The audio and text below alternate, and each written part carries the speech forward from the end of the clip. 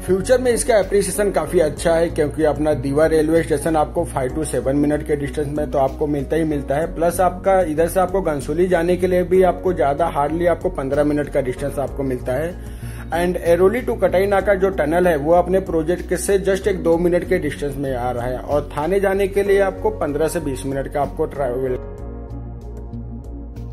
तो near by Navi Mumbai के पास में एंड नियर बाई स्टेशन के पास में and ready to move in with OC received के साथ में। साइट विज़िट करने के लिए नीचे दिए गए नंबर पे कॉल कीजिए एंड साइट विज़िट बुक कीजिए।